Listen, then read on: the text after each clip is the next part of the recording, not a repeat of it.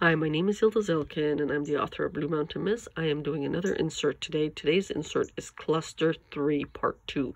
Now, in Part 1, it had to do with only one particular person.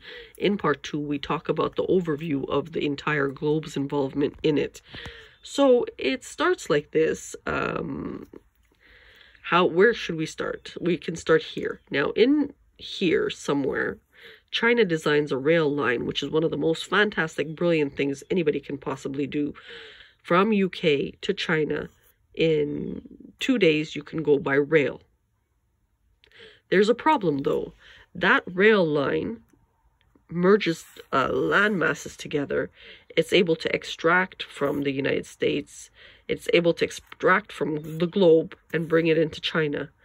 Um, by merging that particular rail line together, so there was a small area that wasn't finished, it is going to be, it is completed.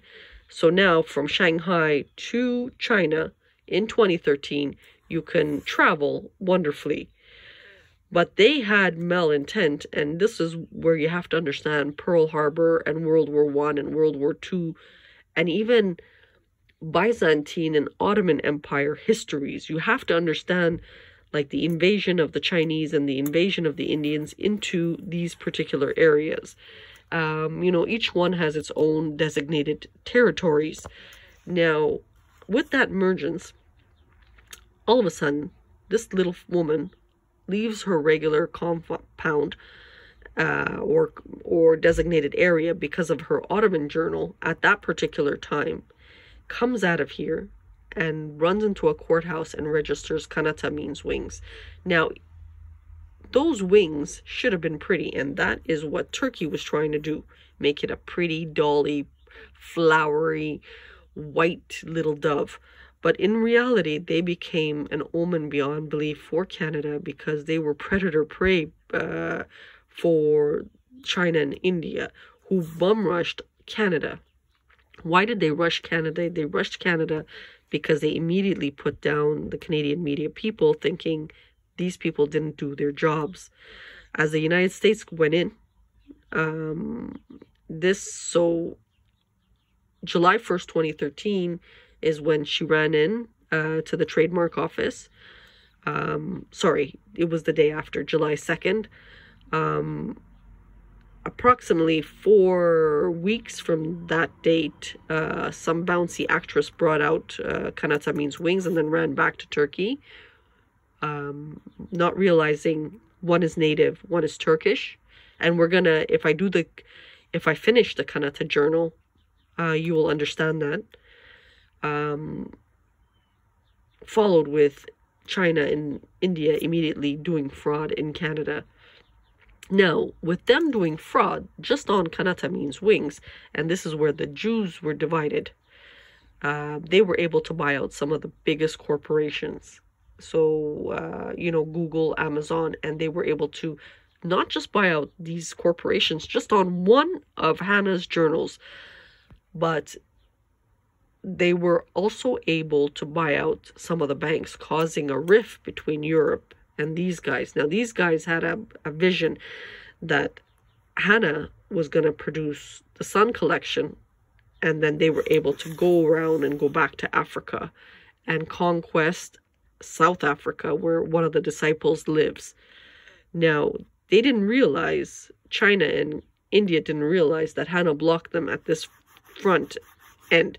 So even though they had about four or five of the journals. They didn't have all of it. They needed all of it to push their own actresses. But they also didn't realize that these media kids love the disciple as a parent. Remember, this this man is an orphan. I mean, these kids are orphans, so they they see this man in South Africa as you know their their father. It caused a major rift to the point that exactly six months after Kanata Means Wings journal in Ontario, um, about two barrels of purple bubbles were released right in front of Little India. Now, we love Little India.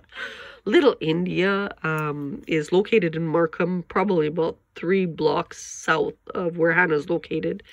And they were so excited, you know, um, this person was going to do the real evolve. Everything was good until Europe burnt India and China.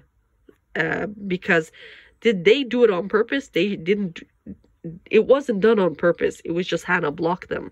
Now, why is Hannah blocking these two?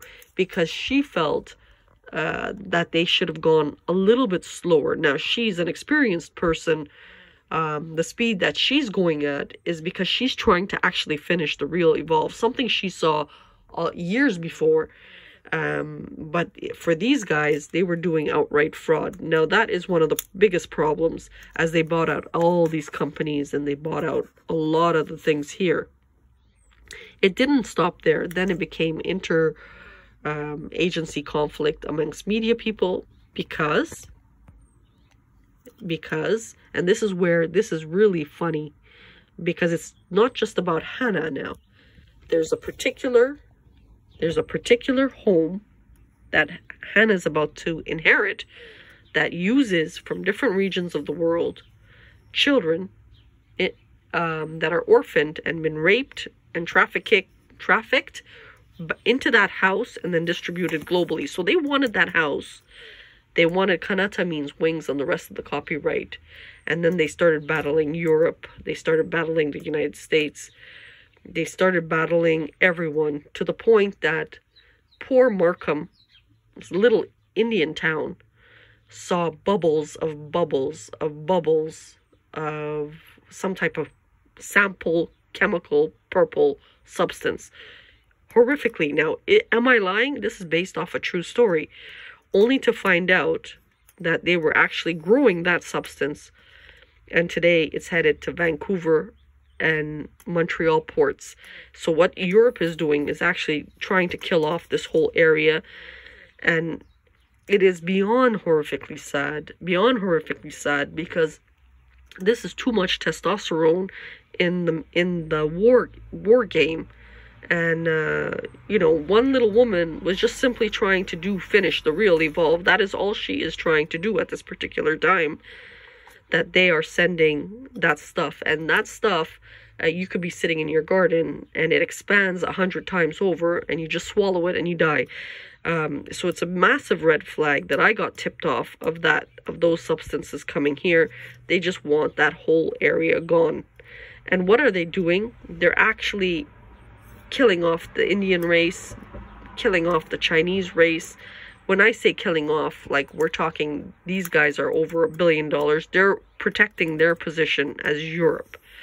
Uh, should I be posting this on the internet because I got tipped off? Well, it's a red flag when you start harming humans. And there's a bigger environmental consequence too. So they don't care about the environment. You know, they can wait 500 years here and then conquest again. Um, but it's the fact that they're sending barrels of these this purple expandable stuff that Hannah saw in 2013. It's a it's really really very unfortunate. Um, and